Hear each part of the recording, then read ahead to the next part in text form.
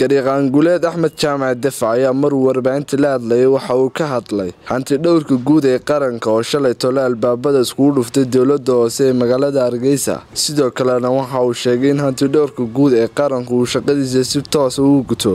Gariiqaanka oo arrintaasi arrimo kale oo ka hadlaya waxa uu yidhi horta somalilan muddo dheer intaa ay jirtay way yar tahay in la arko. Weliba tobankii sano u dambeeyey dhowr tobankii sano u dambeeyey in cida inta hanti dhowr baadhay. Kadib la yidhi waxaa lagu hayaa cadamo musuqmaasuqo loo soo xidhay oo dacwad lagu soo ogay doona lagu helo. Siba dadka sarsare.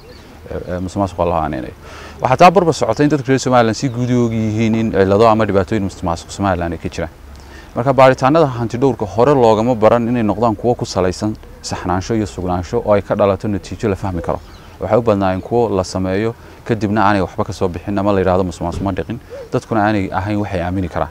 Marka hadda inay ka duwanaato oo cadeymo la keeno oo cid la soo qabto iyo inay halkii hore iskaga dhammaato noqoto baaritaan la sameeyo waxba ka dhalan waynu eegi doonaa. Laakiin ugamaynaan baran hanti dhowrkii horeyna soo maray somalilan intay jirtay in inta si saxa cid loo baadho dabeedna cid loo soo qabto. Taasina wax waxyeello weyn ku noqotay hantidii ummadda oo musuqmaasuq markaa wuxuu noqday wax iska caadiya oo cidina aanay ka baqinin inay musuqmaasuqu samayso.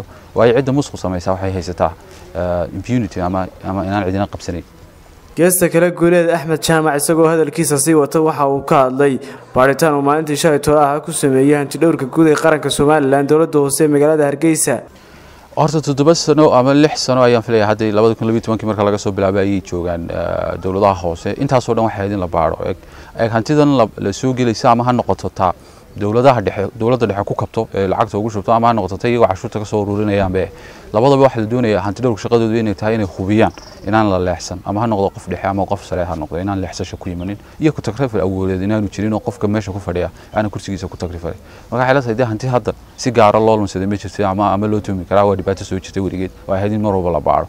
Marka taan marka hore ku bilaabay weeye waxa weeyaan hanti dhowrku inuu si joogtaa shaqadiisa u qabsado dee uuna wax qaniino bayti yeesho ilka wax qaniinaya yeesho hadduu hantidhowrku noqon waayo meel wax qaniinta runtii waxay noqonaysaa taasi markaa inaanay inaanay inaan cidina ka biqin macna samayn weydo hantidhowr baa meel galay waayo waad ogtoo marka si caadi loo fikiriyay marka hantidhowr meel soo galo dadka werwer badan bay qaadaan xitaa dadka sida wanaagsan u shaqaynaya werwer qaada waayo waxbuu qaniinaa laakiin innaga caadada xafiiska aynu ka baranay maaha inuu wax qaniino ka sii dayrin maayo melihii hadda baaritaanka socdaa waxba ma dhalayo waayo ma ogin in wax dhalayo inaan waxba dhalaynin laakiin intaan u soo baranay dhowr iyo tobankaa sannadood maynaan arag hantidhowr intuu cid qabtay maaragtay baaritaanka natiijo ka dhalatay. Suhayb shafee maxamed star t v hargeys